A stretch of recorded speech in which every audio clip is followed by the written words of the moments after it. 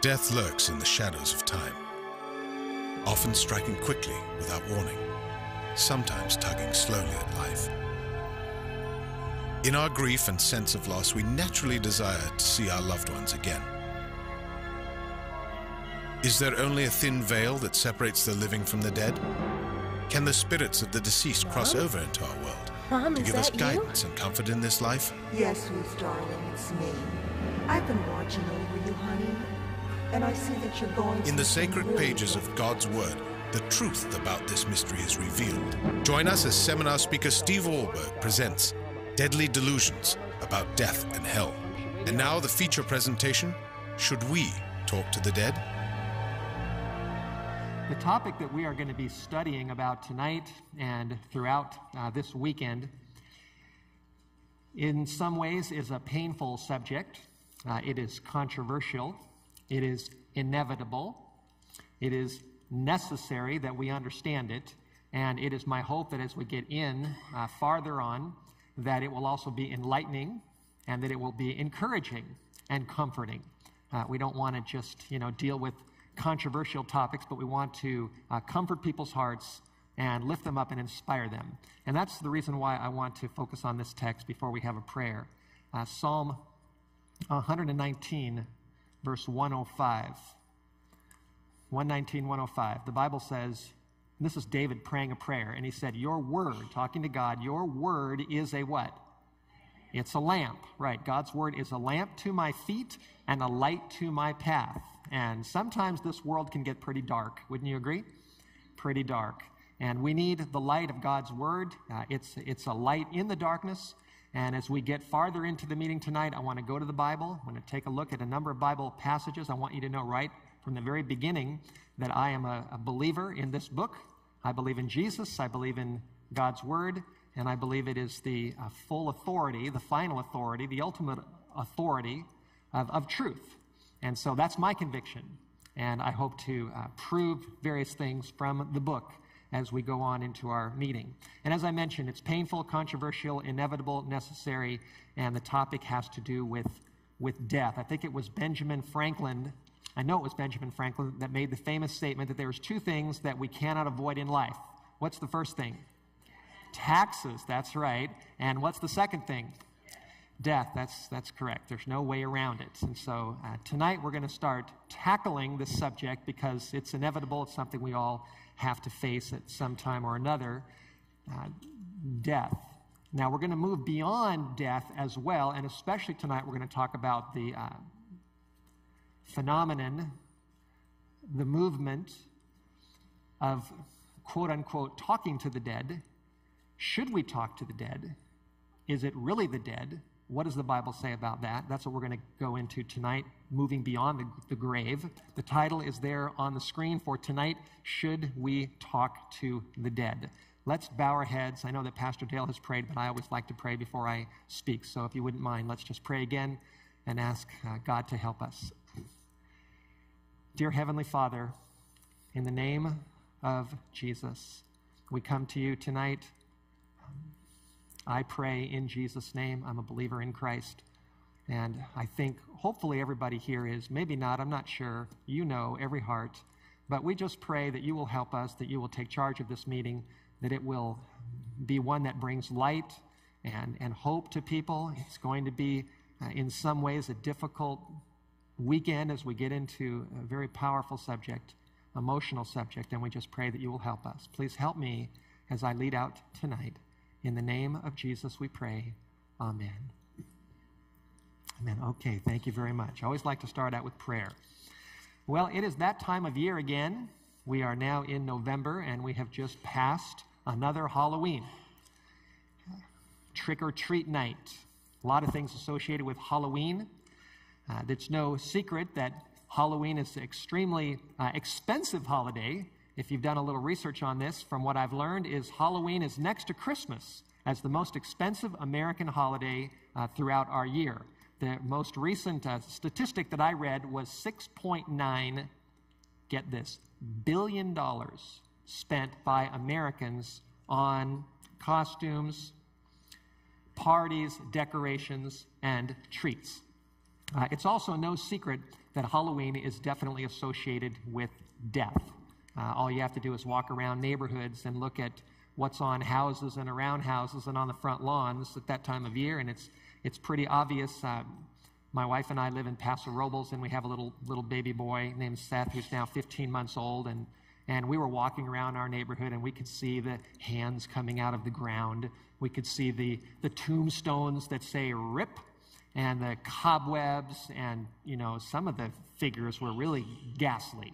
The ghosts and the ghouls and the skeletons and uh, all of these, you know, dark type of scary things. I think we had somebody actually knock on our door. A number of kids actually knocked on our door, and we decided to give out some uh, Tootsie Rolls and some tracts about Jesus. So the kids didn't know it, but they were trick or tracking at our house.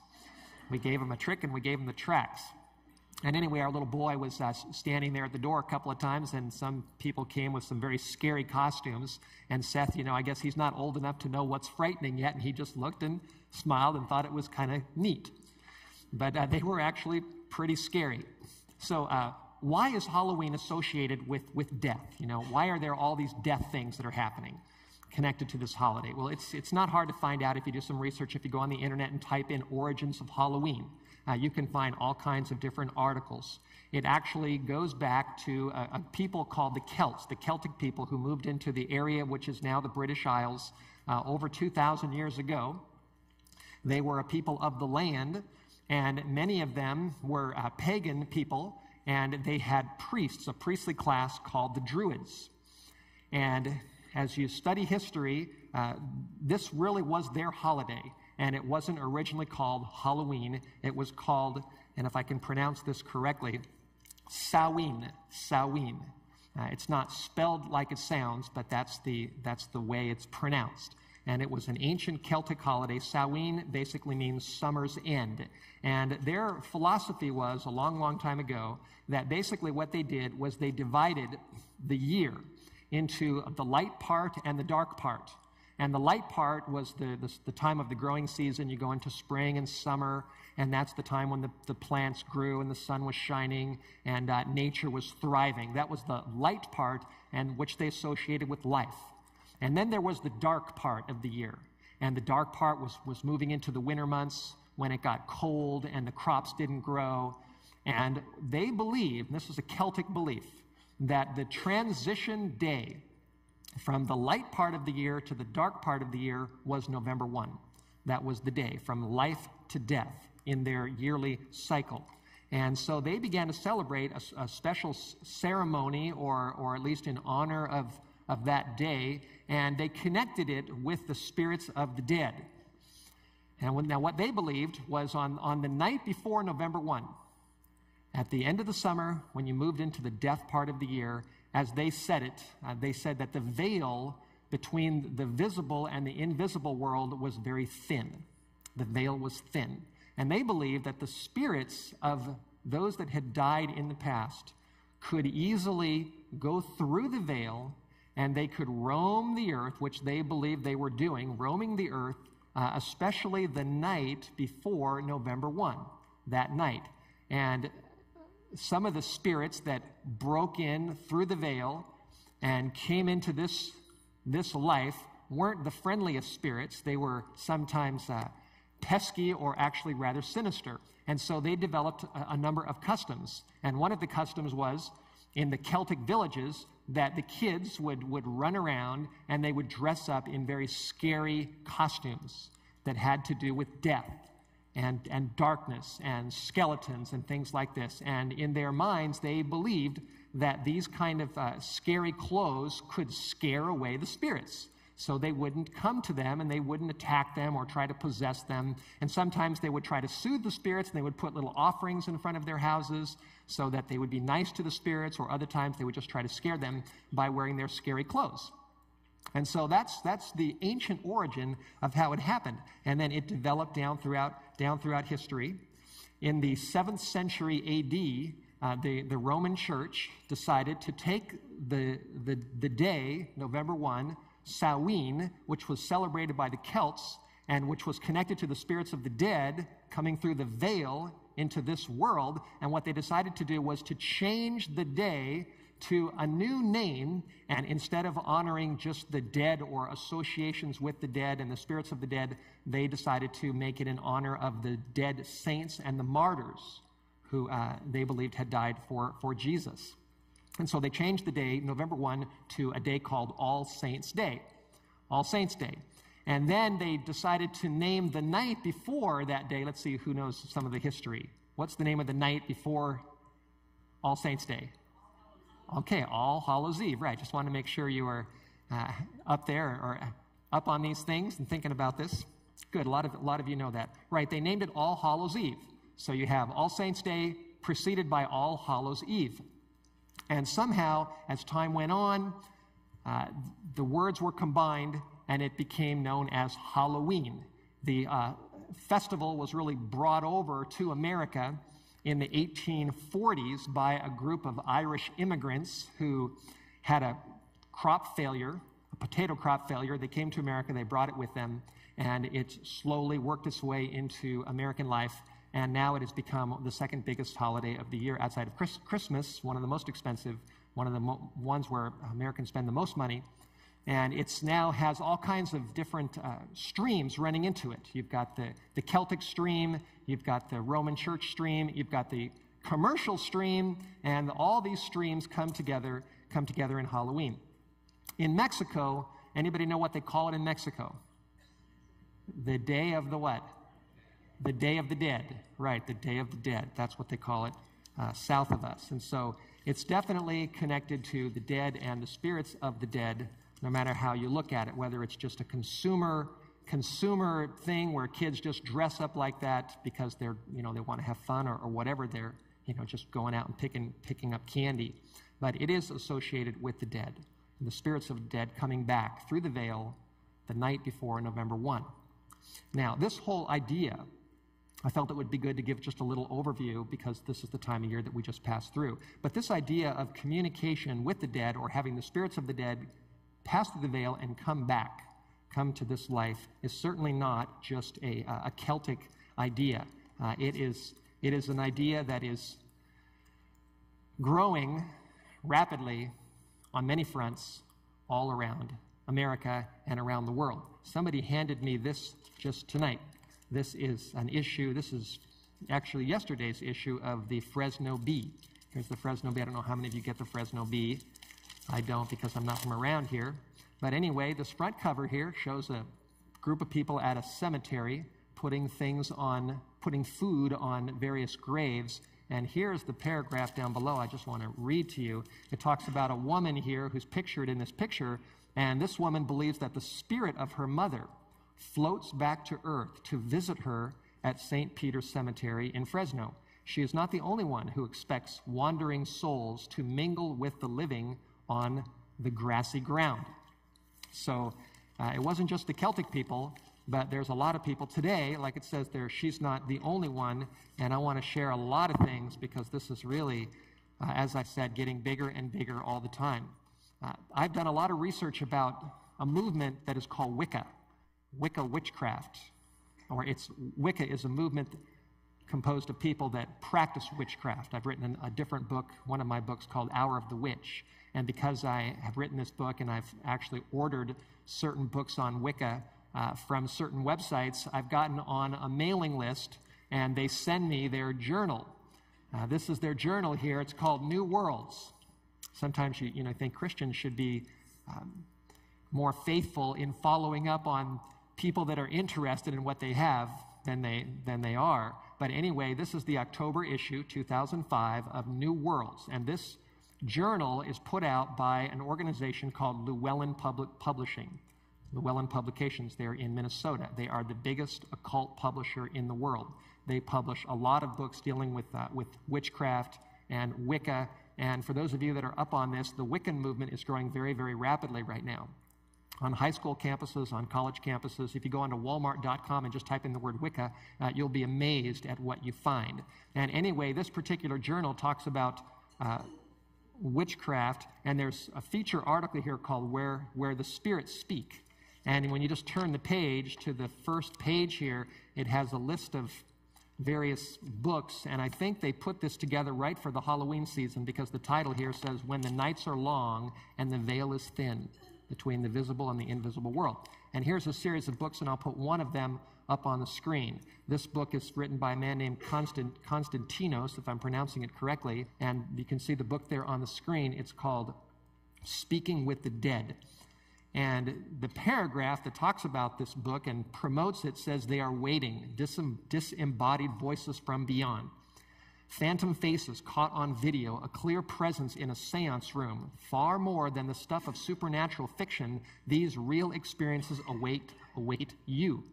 The author of Speak with the Dead has been experimenting with reaching out to the spirit world for over a dozen years. He has had amazing success with every technique described. His simple step by step instructions show you how to use ordinary electronic devices like tape recorders, video cameras, and computers to make contact, record ghostly phenomena, and even establish a two way live communication with the spirit world. And then it gives all kinds of uh, benefits to getting this book and how you can reach out and you can talk to your, to your loved ones. Here's another book I didn't mention called Becoming a Medium. Um, actually, that's the subtitle here, and it, the book is called How to Communicate with Spirits. So that's just an example. So it's not just the ancient Celts, but modern, the modern Wiccan movement is also focused on communication with the spirit world very strongly. I have a friend of mine, her name is Pam. She used to be in, into the Wiccan movement. She came out. She's no longer a Wiccan, and she emailed me just recently and she said, Samhain is coming. She said, Pray for me. It brings up a lot of memories uh, concerning her life and her past and some of the things that she has dealt with that have really, uh, she thought were friendly, but they became very scary to her. And so uh, I prayed for her, and she made it through. And she emailed me after the holiday was over, and she was just uh, talking about God and about the Lord and how He was still encouraging her in her life. But anyway, that's just, an, just a, a small example. Now, many of you are probably, in fact, I would say all of you, are familiar with the Harry Potter books. The Harry Potter books are the most popular books ever written for kids. There's nothing like them. They've sold uh, millions and millions and millions and millions of copies. The, the last book came out just in just last July, Harry Potter and the Half-Blood Prince, and I believe they sold about 7 million copies in the first 24 hours. That was book six in the Harry Potter series. The final book is still on the horizon. It's not out yet, but it's coming at some point in the future. Uh, I've done a lot of research in the Harry Potter series. I've written my book, Hour of the Witch, uh, showing what I believe to be the, the connection between the Potter books, even though they're fantasy, and the growing Wiccan movement. Kids read books that are fantasy, and yet many times, not all the time, but many times, it creates an interest in checking out the real thing. And the real thing is out there growing all around uh, by leaps and bounds. Well, anyway, this is the second book in the Harry Potter series called Harry Potter and the Chamber of Secrets. And on page 156, there's just a little scene here where Harry is in, the, is in the bathroom of a school for witches that he goes to called Hogwarts School of Witchcraft and Wizardry. And he is talking to a young girl that used to be a student at Hogwarts, but she died. And now her ghost inhabits the bathroom. And this is just a little scene described here where the girl's name is Myrtle, and she's talking to Harry. And this is what she said I, in this book. She said, I wish people would stop talking behind my back, said Myrtle in a voice choked with tears. I do have feelings, you know, even though I'm dead. Now, most people think these are just fun fiction, you know, storybooks that nobody needs to worry about. But I want to tell you, in this fun, supposedly fun scene, uh, this is talking about, you know, a very common practice these days of communicating with the dead. And it's right here. And this, we could call this uh, spiritualism. That is spiritualism. And it's just being described here, uh, right there in book two. Here's another one. And I'm just giving you a survey tonight. Before we go, as we get near the end, we're going to look at the Bible. But at the beginning, I'm just going to give you an overview of what's happening in our society the Celtics, the Wiccan movement, the Harry Potter series, people gathering uh, around tombstones in cemeteries. This is this week's issue of People magazine. There's a picture of a man there smiling with a glass of, uh, looks like wine that's bubbling over. And the title here says, They See Dead People. They see dead people. And there, this is a, an article about a number of people that have spirits of the dead living in their homes, they think. and they have some kind of a friendly relationship with them. And these people are smiling and, and happy because they're, they get a kick out of this, actually. Here is a picture of the cover of a movie that came out not too long ago, produced by Hollywood called White Noise. Not too long ago, my wife and I and, and our little baby were on uh, our anniversary, and we were staying in a hotel in Monterey, California. And one night we had some free time and, and it was dark, and we decided just to browse through the, uh, the options of the programs that were made available by the hotel to see if there was any family friendly shows. And so we were browsing through, and there was one picture of a, of a man with his, uh, his son, and it didn't have any description, it didn't have any preview, and it looked like a family friendly film to me, so I thought, okay, we'll give it a try. So we pushed the button, and within minutes, it was showing up on our TV screen, and it was white noise. Well, we watched it for about 10 minutes, realized what it was about, and that was it. And I'm glad that uh, when I went to the front desk, they gave me my money back because it was not something that we wanted to watch. White Noise is the, it's, a, it's a movie about a woman that dies and she begins contacting her husband. Her husband is uh, walking along one day, his cell phone rings, he looks down there, and it's his, it's his wife's caller ID coming into his cell phone. And that was about the end of that we saw. But as I've learned more since I've done some research on this, uh, and there's a website that promotes this movie, that this is actually more than just a movie. It's connected to a real life phenomenon that is called, for short, EVP. EVP, uh, electronic voice phenomenon. And what happens is there's a whole movement connected to white noise, and there's a lot of people out there. And if you go to the website, which I don't really recommend, it will actually tell you all about this phenomenon and how those that have died are actually able to communicate with the living through giving messages through the white noise that comes through your, your tape recorders. Any kind of electronic recording device that you have, whether it's video or audio, they believe that you can set it up in a certain way and you can you know, go through certain things, and that those that are on the other side can communicate with you and give you messages uh, right there on your, your recording units. And this movie is not just a movie, but when you go on the website, it's actually promoting this activity, uh, and it's growing across the country right now. So there's a lot of people that are getting into this. Now, here's another Hollywood TV series came out earlier this year uh, on the NBC network, and it's called Medium. How many of you have heard of Medium? Have you heard of Medium? Many of you have, and there's just a little clipping or a, a picture there of the, the lady that plays the woman that is a medium in the series. It's about a woman, and it's actually based upon a true life, true life story of a, of a lady that worked for the state and is involved in uh, solving crimes. And one of the ways she solves crimes is by seeing things, as it says there, that others can't see. She is able to see those that have passed on to the other side, those that have, have died. Now, here is the here's a picture of the woman. Her name is Alice, Allison Dubois. She's a real live woman today. This is the story of the woman who inspired the NBC television series Medium, and this is airing right now uh, on, on NBC. And there's a picture of the real lady, and her book is called Don't Kiss Them Goodbye, and it's all about communication with the dead. That when they die, they're not really dead, they're out there, and you can still make contact with them, or they can make contact with you. So this is Hollywood again, based upon something that is, that is really happening.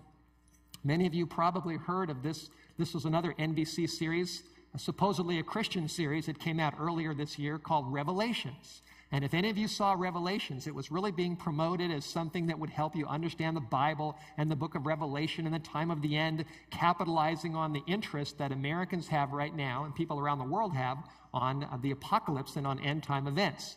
And I was shocked when I saw some of this series to see that the part of the storyline, the main part of the storyline, was a woman, a, a, young girl actually, who died, and she went on to the other side, and her spirit was now communicating through another girl who was in a comatose state.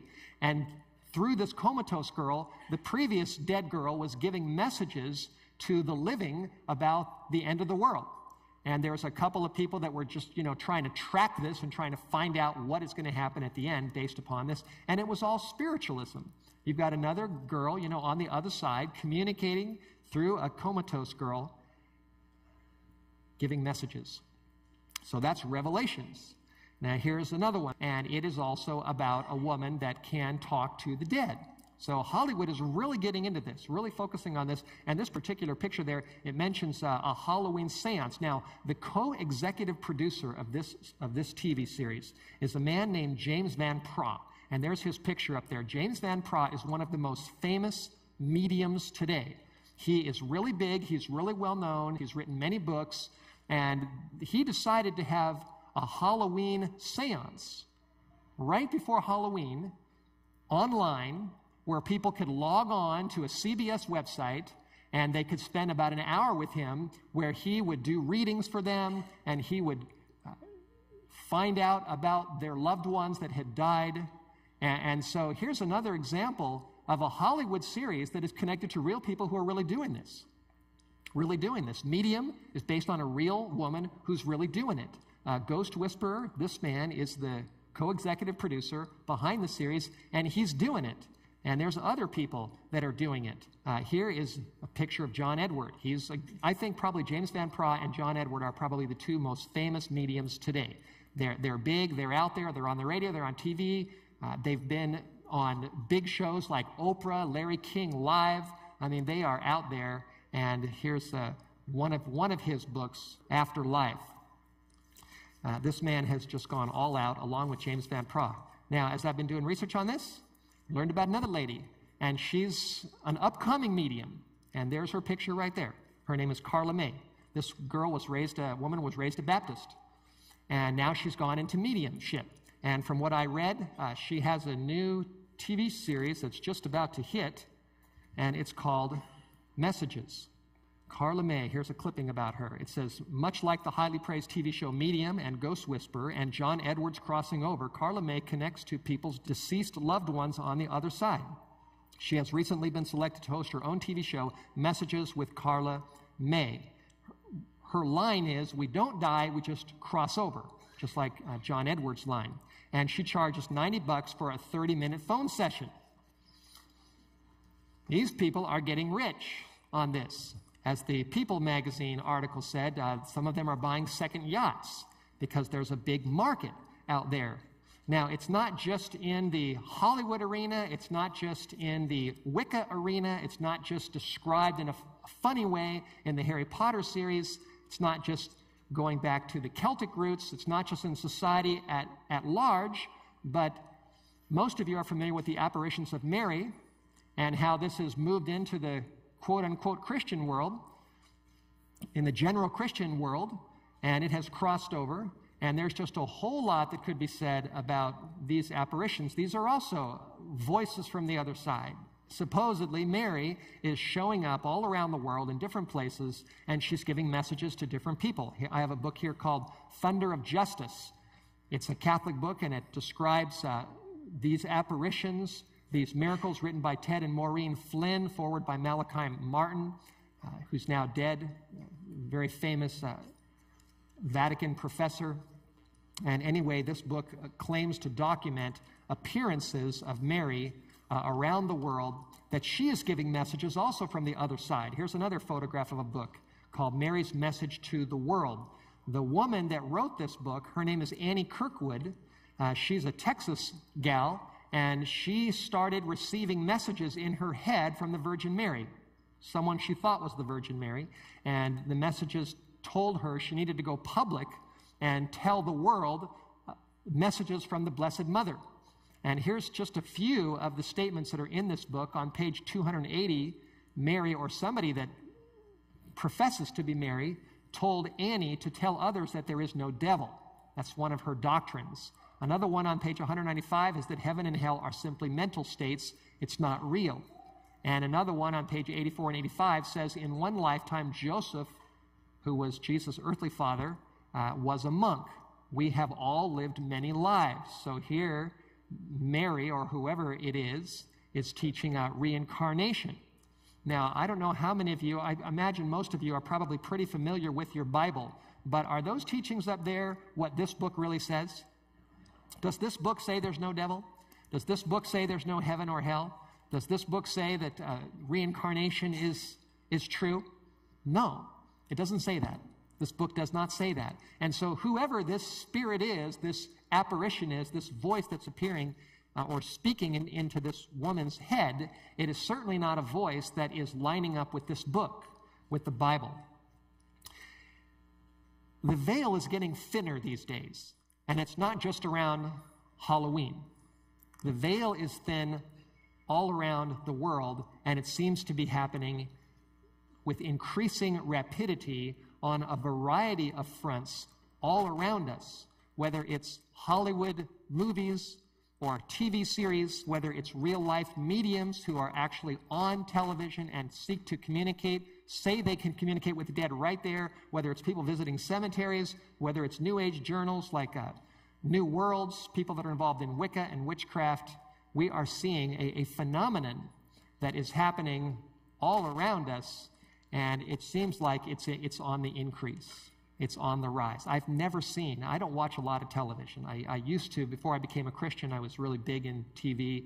Uh, I actually worked in the movies for a little while in the summer of 1979, but when I became a Christian, I left all that. God brought me out of the darkness of Hollywood. He brought me into the light of His book, into the light of Jesus. So I'm not a big TV watcher, but I do research because I speak on these things. I want to be dealing with things that are happening right now that are big in the world and that Christians need to be aware of and think about and talk about and deal with from this book. And that's why I'm aware of these kind of things. And it's just very clear to me, uh, especially as I look at what's happening now, that there has never been a time that I'm aware of where NBC and CBS and various networks are coming out with more programs that are dealing with spiritism and talking to the dead and mediums and these kind of things than right now. I mean, something is happening in our society. And it's not just Hollywood, it's the real thing. It's the real thing. The people that are behind the programs are doing it and they're promoting it and they're trying to get other people to do it. And that's what we're seeing happening all around us. And probably one of the biggest reasons why this is happening is because, well, maybe I should say one of the reasons. I'll go to Revelation and show you what I think is the biggest reason. But one of the reasons is because death is still a very painful event, one of the most painful events that anybody can go through. I think somebody once told me divorce is worse. Going through a divorce is worse than having someone die because you live the horror after a divorce. When someone dies, at least um, it's easier for many. And Hollywood is taking advantage of this. And when people lose a loved one, it hurts, doesn't it? Uh, we suffer over these things. I remember when I was maybe 10, first funeral I ever saw was my Uncle Manuel. And I remember going and seeing him lying there in the casket and looking at him and trying to figure this out. You know, he, he looks totally different. He's cold, he's motionless, his face is white, he's laying there in a, in a box. You know, what is this all about? Now, if I was older and if he was, if we were very close, I'm sure this would have, have affected me more. But it does affect, it does affect us. It affects us all. Anytime you lose someone that you love. Uh, I'm thankful that my mother and my father, although they're getting up there, they're still here with us, with me, and I'm not, you know, looking forward to having to deal with, with the day of their death. It's painful, and it's also natural. It's the most natural thing in the world when someone dies to wish they were still here if you love them, right? You want them to still be here, and it's a natural thing to wish that you could talk to them.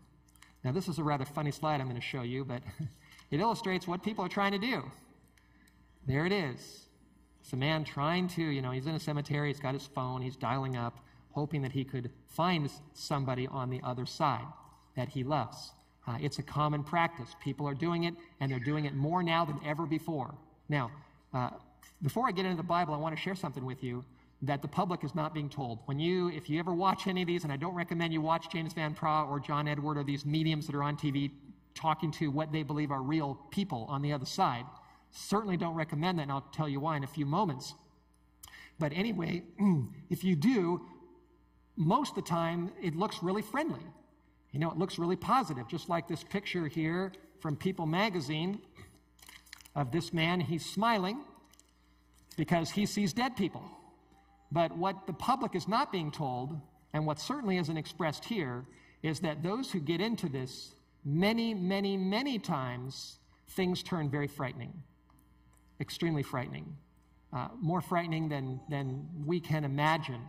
There is one particular woman, and I'm just going to use her as an example, and there's a picture on the screen of a book. This woman is dead now. Her name was Jane Roberts. Jane Roberts, prior to James Van Praagh and John Edwards, was one of the most famous mediums in all of history. And this woman lived in the, in the 1960s and the 1970s in New York.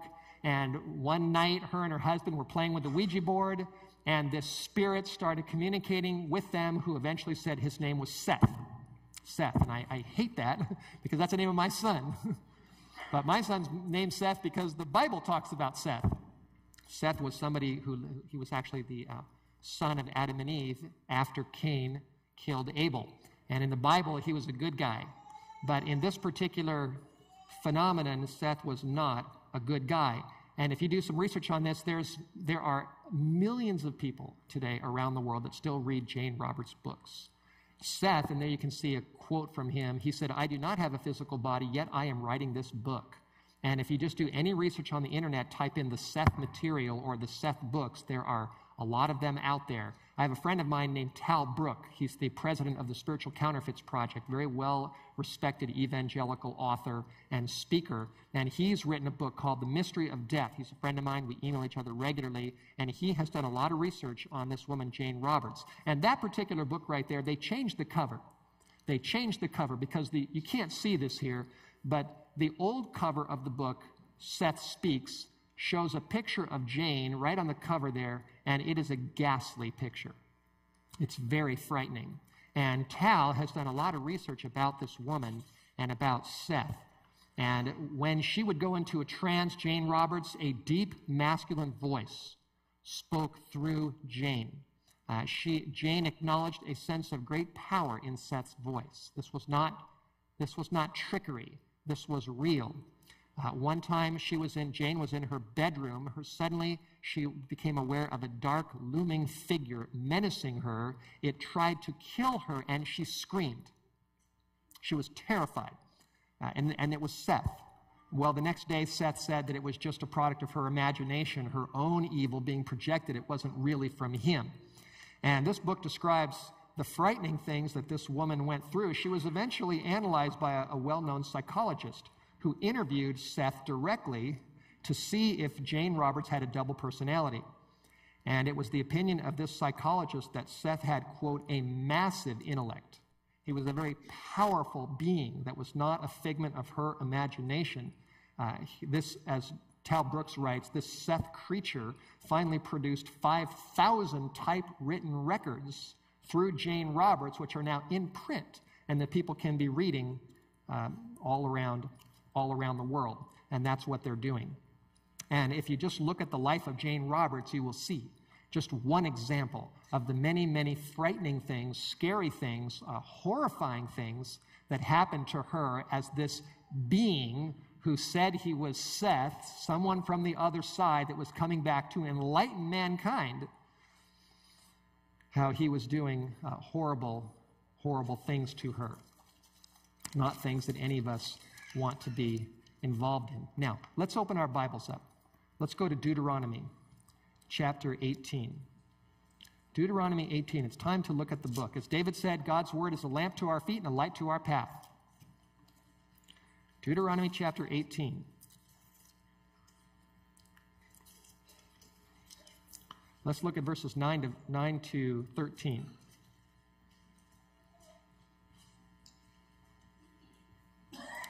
Deuteronomy 18, verse 9. And this is God's book. This is what God has to say about all this. The Bible says in verse 9, and this was God talking to the Israelites before they went into the promised land. He said, When you have come into the land which the Lord your God is giving you, you shall not learn to do after the abominations of those nations. The things that the nations around them were into, God said, Don't get into those things. Don't do them. Verse 10 says, There shall not be found among you anyone who makes his son or his daughter to pass through the fire. This was a pagan practice. If the kid survived when he went through the fire, that pleased the gods. If he got burned up, then they wanted him as an offering. Terrible practice. And then it says, or who uses divination. And I'm reading the King James Bible. Or someone who is an observer of times. That's astrology. Or who is an enchanter or a witch. Verse 11 says, or a charmer or a consulter with what? Familiar spirits, right? Talking to familiar spirits, or a wizard. And the King James says, or a necromancer, or a necromancer. Now I'm going to push my button here and show you what the New King James says, because this is a easier translation in this verse. It says there, or a medium, or a spiritist. That's where it talks about the familiar spirits, or one who calls up the dead. A necromancer is someone who tries to communicate with the dead. That's what it is. And the New King James says one who calls up the dead. Now, notice verse 12. It says, For all who do these things are what? An abomination. All who do these things are abomination to the Lord, and because of these abominations, the Lord your God does drive them out from before you. You shall be perfect before the Lord your God. So, how does God feel about calling up the dead, trying to communicate with the dead, being involved with familiar spirits, being involved with mediums and things like this. What does God say? Is this something we should be doing? That's the title of our meeting tonight. Should we talk to the dead? According to this book, according to God, what does He say? No, no way. Don't do it. Don't get involved in it. And I'll tell you the reason in just a few moments. Here's another verse up on the screen Leviticus 19:31 says, Regard not them that have familiar spirits, neither seek after wizards. Now, the New King James translates the word wizards as medium. Medium. Same thing, that's the title of the NBC series, Medium. And God says right there, to be defiled by them, I am the Lord your God. Don't go after these things. Don't be involved with this. Don't get uh, caught up in this. Now, turn to the book of Job. Turn to Job chapter 7. Job is right before Psalms. And take a look at chapter 7, verse 9 and 10. Job chapter 7. It's happening all around us, and yet this book says, don't do it. Right? Don't get involved with familiar spirits. Don't try to contact the dead, whether it's through EVP or going to a medium or whatever method or means somebody comes up with. Seance, Halloween seance, on CBS.com, any of this kind of stuff. God says, stay away from it. Now, look at this verse uh, Job chapter 7, verse 9 and 10. Job was, uh, God considered him to be perfect in his generations. Job was a righteous man. And this is what Job said about death in verse 9 and 10. Job said, As the cloud is consumed and vanishes away, so he that goes down to the grave, someone that dies and goes down to the grave, says, shall come back and talk to you. Is that what it says? No, it says, He that goes down to the grave shall come up no more.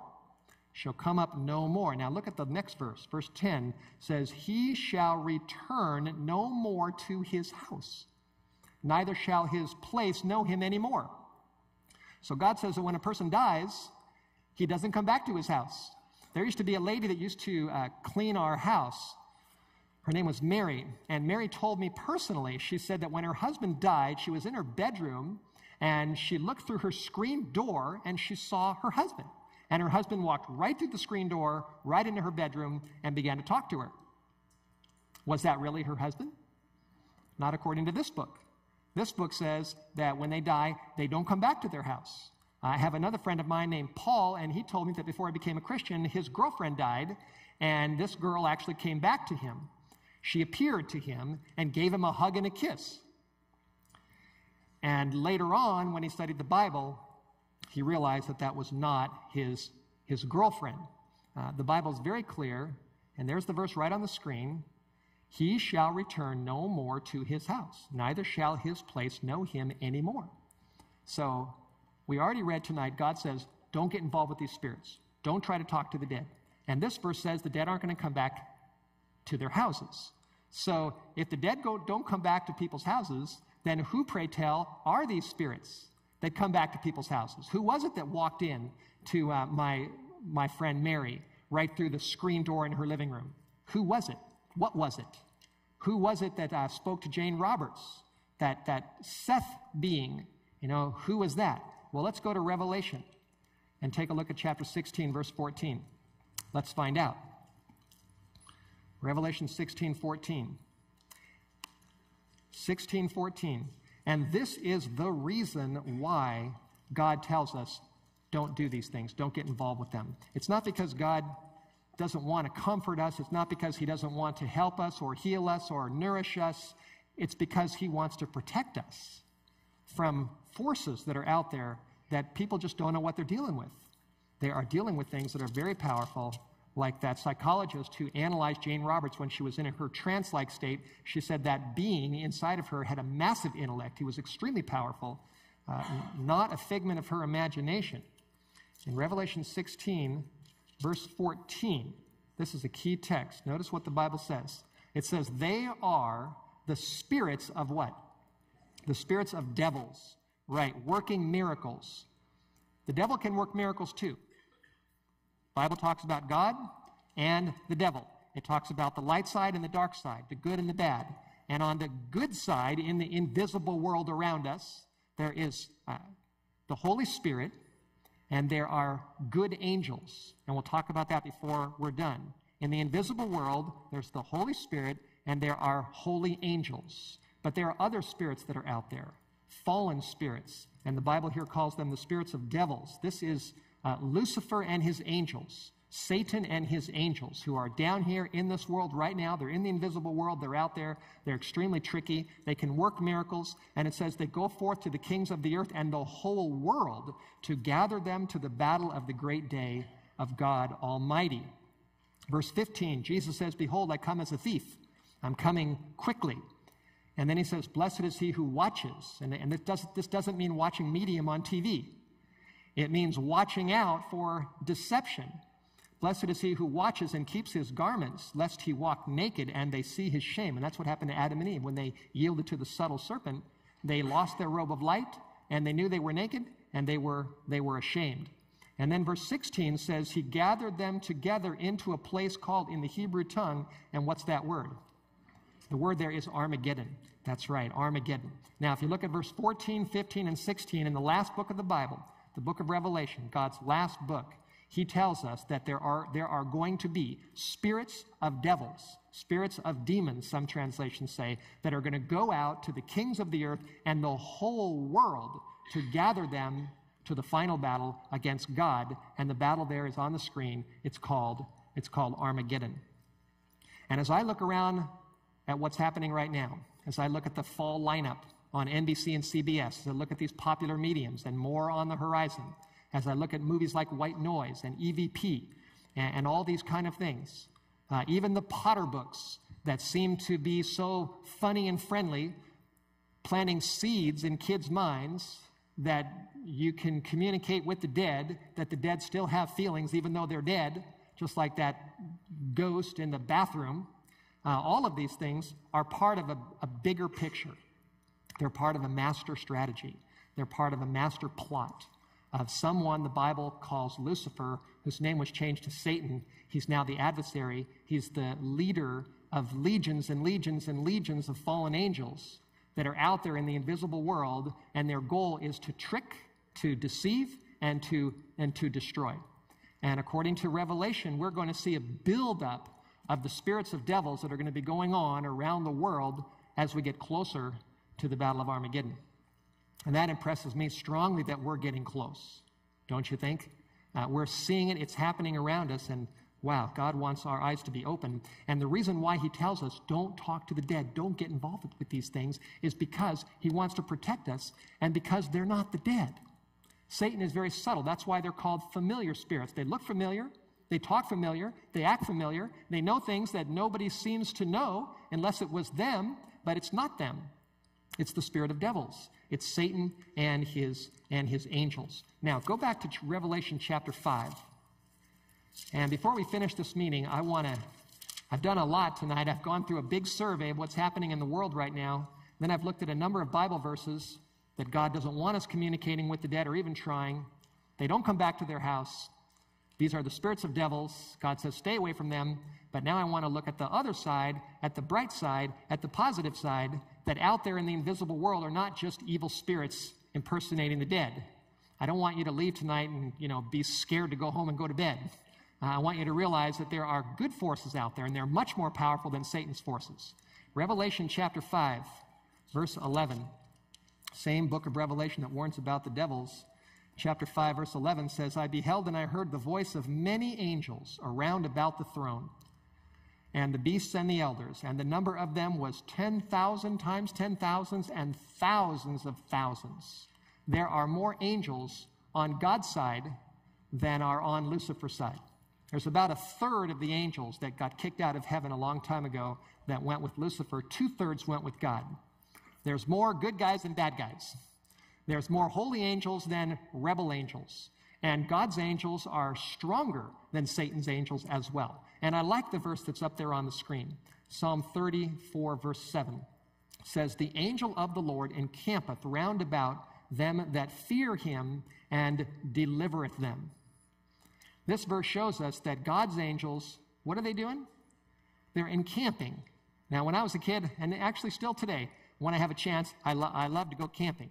When my little boy gets a little bit older, we're going to go out and, you know, going to buy him a little backpack. And we're going to go out there and we're going to, we're going to hike and do some camping. And I like this verse because it says God's angels are campers too. They camp around us. And notice it says, who do they camp around? It says they camp around them that fear him, those that fear God, those that honor God, those that trust God, those that believe in God, those that reverence this book. Uh, I, am not going to go to any medium or spiritist. My dad used to do that actually before he became a Christian. He went to a medium, and this, this person went into a trance, and a spirit spoke, and he said his name was, was Jock. It wasn't Seth, it was Jock, and gave him uh, guidance for his life. Well, when my dad became a Christian and started reading the Bible, he didn't go back to listen to Jock anymore.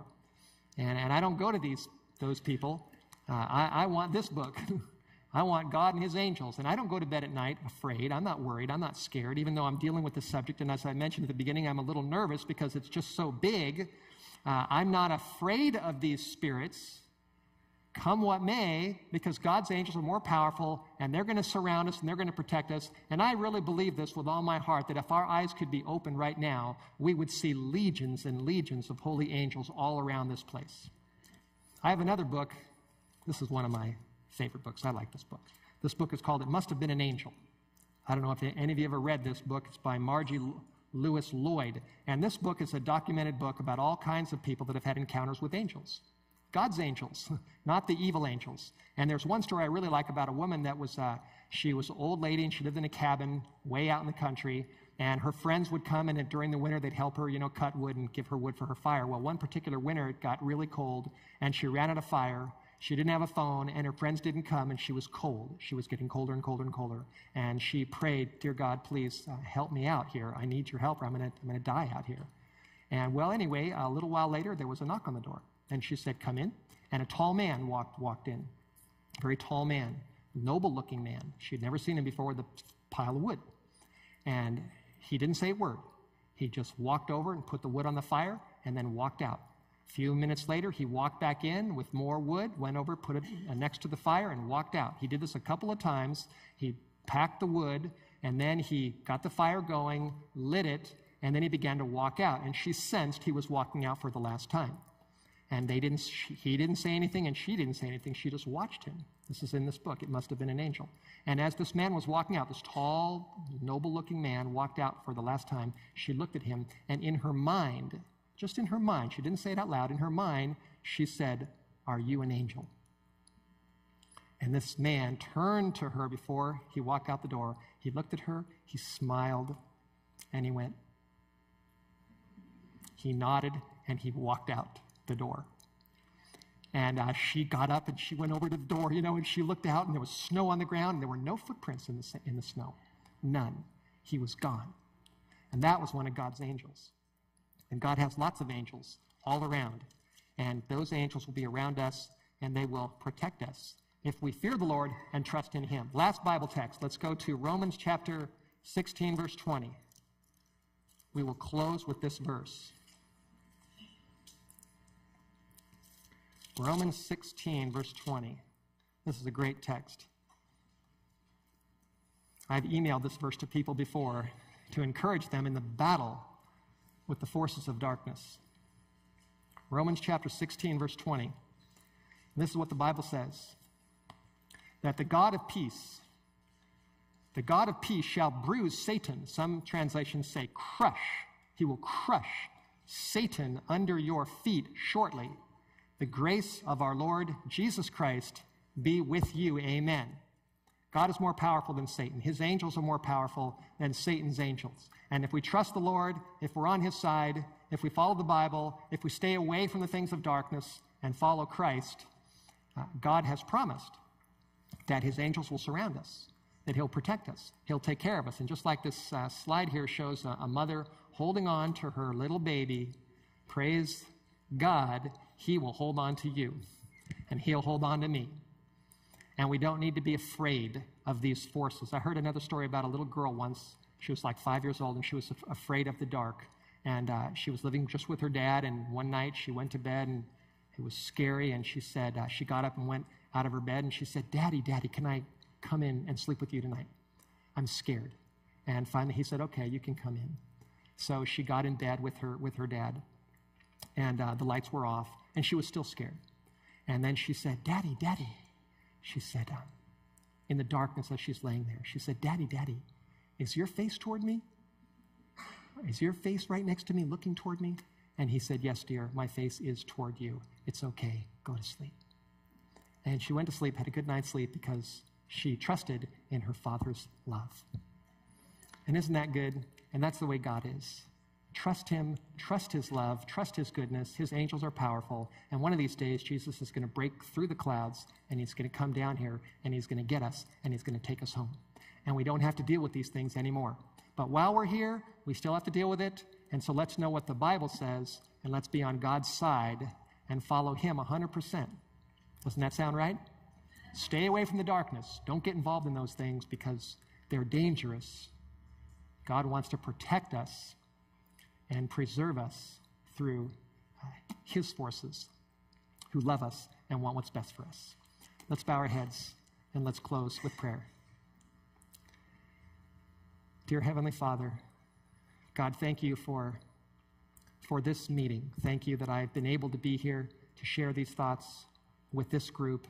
And we pray in Jesus' name that powerful angels will surround us all just like the angels that sang at the birth of, of Jesus Christ on the plains of Bethlehem. May holy angels surround us and camp around us so we don't have to be afraid. We don't have to worry about evil spirits or uh, Satan's angels. Please, Lord, bless us and help us to know our Bibles and to know what's happening in our society so we'll be on your side all the way until the end. In Jesus' name we pray. Amen.